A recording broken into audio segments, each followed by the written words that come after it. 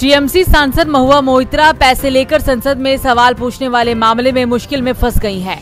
उनकी संसद की सदस्यता ही संकट में फंसती दिखाई दे रही है। आज संसद की एथिक्स कमेटी ने इस मामले में चर्चा की। कमेटी की ओर से महुआ को संसद से निष्कासित करने की सिफारिश भी की गई थी। लेकिन कई सदस्य इस रिपोर्ट के खिलाफ थे, जिसके बाद एथिक्स कमेटी में सदस्यों के बीच वोटिंग भी कराई गई।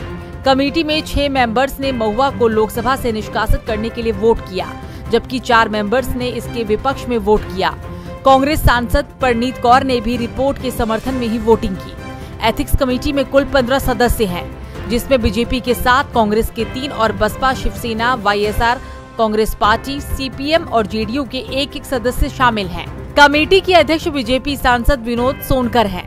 अब एथिक्स कमेटी ये रिपोर्ट शुक्रवार 10 नवंबर को लोकसभा स्पीकर ओम बिड़ला को सौंपेगी। दावा किया जा रहा है कि कमेटी ने अपनी रिपोर्ट में महुआ मोहित्रा के आचरण पर सवाल खड़े किए हैं।